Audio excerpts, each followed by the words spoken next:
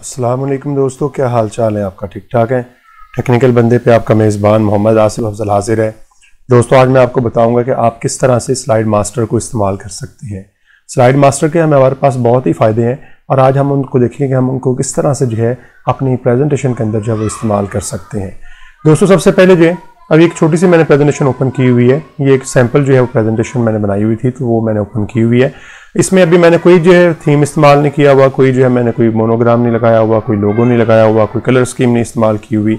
तो आप इसके अंदर जो है, अगर कोई जो है वो फ़र्ज़ कर लें, हम सिर्फ़ एक लोगो ही लगाना चाह रहे हैं, या कोई एक इमेज ही लगाना चाह रहे हैं। लेट से मैं यहाँ पे इंसर्ट करता हूँ, और यहाँ से मैं कोई पिक्चर जो है सेलेक्ट कर लेता हूँ। पिक्चर जो है, यहाँ पे एक छोटी सी ये पिक्चर हम सेलेक्ट कर लेते हैं, और इसे मैं कहीं पे एडजस्ट करना चाह रहा हूँ। मैं इसका साइज़ थोड़ा सा जो है एडजस्ट कर लेता हूँ। लेट से ये मैंने साइज़ इसका एडजस्ट कर लिया। और इसके बाद मैं जो चाह रहा हूँ कि ये हर स्लाइड के ऊपर जो इस तरह से आए। मैं इसे यहाँ से कंट्रोल सी करता हूँ नेक्स्ट स्लाइड पे आता हूँ, यहाँ पे कंट्रोल वी करता हूँ, हमारे पास यहाँ पे ये इस तरह से जो है वो आ जाएगी। लेकिन मुझे हर स्लाइड पे जाके कंट्रोल वी करना पड़ेगा और ये हमारे पास जो लेटेस्ट हमारे पास ऑफ़िस है, इसमें ये ऑप्शन है कि आप जब कंट्रोल वी करते हैं तो उसको उसकी असल लोकेशन के ऊपर जो है वो पेस्ट कर देता है। लेकिन अगर हमारे पास फ़र्ज़ कर लें, यहाँ पर स्लाइड्स बहुत ज़्यादा हैं तो आपको हर स्लाइड के ऊपर यही जाकर काम करना पड़ेगा। लेट से मैं कंट्रोल जी करता हूँ अभी। फ़िलहाल यहाँ से इसे ख़त्म करता हूँ और यही काम मैं स्लाइड मास्टर की मदद से करना चाह रहा हूँ। तो स्लाइड मास्टर के अंदर इस तरह की बड़ी सारी ऑप्शन हैं जो आप इन सब के ऊपर जो है वो इम्प्लीमेंट कर सकते हैं। इसके बाद अगर आप यहाँ पे देखें तो यहाँ पे हमारे पास जो है, ये हमने कोई एक जो है वो फॉन्ट स्टाइल रखा हुआ है, इसका साइज़ रखा हुआ है। तो अगर मैं यहाँ पे चेंज करता हूँ तो ये सिर्फ़ यहीं पे चेंज होगा। फ़र्ज़ कर लें बाकी यहाँ के जो हेडिंग्स हैं हमारे पास जो हैं, इनका जो है वो फॉन्ट स्टाइल चेंज नहीं होगा। तो अगर मैं इन सबका जो है टाइम करना चाह रहा हूँ तो मुझे हर एक स्लाइड पे जाग करना पड़ेगा। लेकिन आप यही सोल्यूशन जो है, ये आप स्लाइड मास्टर से इजीली हल कर सकते हैं। इसके अलावा फ़र्ज़ कर लें आपने इस तरह की बहुत सारी स्लाइड्स इस्तेमाल की हुई हैं, जिनमें आपने बुलेट्स इस्तेमाल किए हुए हैं, और आप इन बुलेट्स का जो है वो स्टाइल चेंज करना चाह रहे हैं। तो आप यहाँ पे हर स्लाइड पे जाके, अगर ये दो पोर्शन में अलग अलग है तो आपने हर एक पोर्शन को अलग से सिलेक्ट करना है, और इनके बुलेट्स का स्टाइल जो है वो चेंज करना है। लेकिन अगर आप तमाम स्लाइड्स के ऊपर एक ही स्टाइल लेके आना चाह रहे हैं, जिस तरह यहाँ पे ये दोनों साइड के ऊपर जो है डॉट्स लगे हुए हैं तो आप स्लाइड मास्टर में जाके ये काम भी आसानी से कर सकते हैं। चलो दोस्तों, इतनी सारी हमने बातें कर ली, अब हम स्लाइड मास्टर पे चलते हैं, और जाके एक्चुअली देखते हैं वहाँ पे काम कैसे होता है। हम व्यू पे आ जाते हैं। व्यू में हमारे पास जो यहाँ पे स्लाइड मास्टर है स्लाइड मास्टर पे क्लिक करेंगे तो हमारे पास यहाँ पे जो है मेन स्लाइड जो एक जो यहाँ पे भी फ़िलहाल एक स्लाइड स्लाइड सेलेक्ट होगी, लेकिन मेन स्लाइड जो हमारे पास सबसे ऊपर यहाँ पे होगी, ये हमारे पास जो है स्लाइड मास्टर है। ठीक है जी, यहाँ पे रहते हुए आप जो है बहुत सारे काम कर सकते हैं जो आपके, जो कि आपकी सारी स्लाइड्स के जो है ऊपर इंप्लीमेंट हो जाएँगे। मिसाल के तौर पे हमारे पास जो स्लाइड जो बनाई हुई है हमने, उनके अंदर बैकग्राउंड कलर नहीं है। हम फ़र्ज़ कर लें बैकग्राउंड कलर लगाना चाह रहे हैं, सारी स्लाइड्स के ऊपर जो है। तो आपने स्लाइड मास्टर को यहाँ सिलेक्ट कर लेना है बैकग्राउंड जो है स्टाइल के ऊपर आना है। और यहाँ से आके आप जो है कोई सा एक कलर जो है वो लगा सकते हैं। लेट से आप ये लगाना चाह रहे हैं, ये लगाना चाह रहे हैं। या अगर आप जो है कोई और भी फॉर्मेट बैकग्राउंड करके जो है कोई और भी जो है बैकग्राउंड बनाना चाह रहे हैं तो आप वो यहाँ पर लगा सकते हैं। हम यहाँ पर फ़िलहाल जो है वो सिलेक्ट कर लेते हैं, जैसे अंडरस्टैंड करने के लिए हमने ये सिलेक्ट कर लिया। अगर आप यहाँ पर देखें तो ये सारी स्लाइड्स के ऊपर ये कलर लग गया हुआ है। और अगर आप वापस असल वापस आके अपनी असल स्लाइड्स के ऊपर देखें तो उनमें भी सबके ऊपर ये कलर लग गया हुआ है।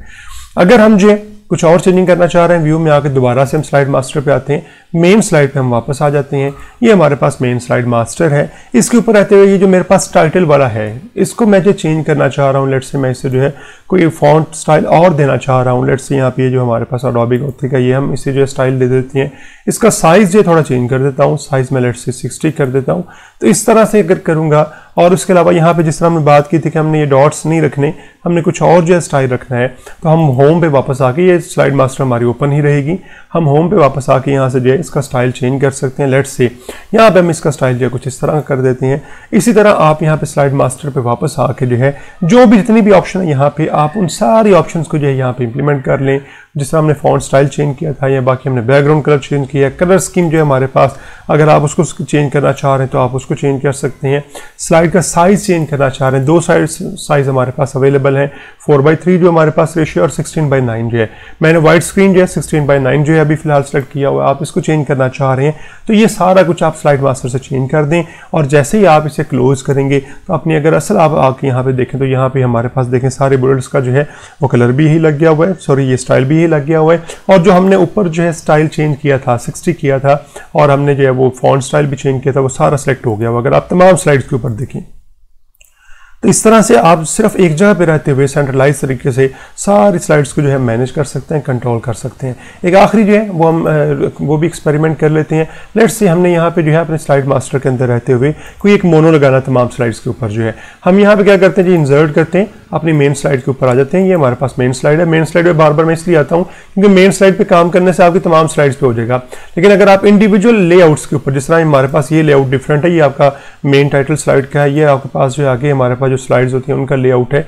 अगर आप इस तरह के हर एक लेआउट के ऊपर अलग से काम करना चाह रहे हैं तो आप अलग से क्लिक करते हुए उन्हें जो है वो यानी स्पेसिफिकली उनके ऊपर जो है इस तरह से की चेंजिंग कर सकते हैं लेकिन चूँकि मैं अभी सारी चेंजिंग जो है वो सारी स्लाइड्स के अंदर चाह रहा हूँ इसलिए मैं स्लाइड मास्टर पर रहते हुए काम कर रहा हूँ इंजर्ट पे आते हुए मैं पिक्चर जो है इंजर्ट करता हूँ अब यहाँ से हम जो एक पिक्चर इंजर्ट कर लेते हैं लेट से ये पिक्चर हम इंजर्ट कर लेते हैं और अब इस पिक्चर को जो है मैं यहाँ पे साइड पर ला के जो है इसका साइज़ कम कर देता हूँ लेट से मैं यहाँ पर इसका साइज़ जो है छोटा करके जो है इसे यहाँ पे कोने के अंदर जो एडजस्ट कर देता हूँ और इससे जो है मैं क्लोज़ कर देता हूँ और जैसे ही क्लोज़ करूँगा इसे जो है अपने स्लाइड मास्टर व्यू को जो है तो यहाँ पे क्या होगा कि अब आपकी तमाम स्लाइड्स के ऊपर जो है लग जाएगा।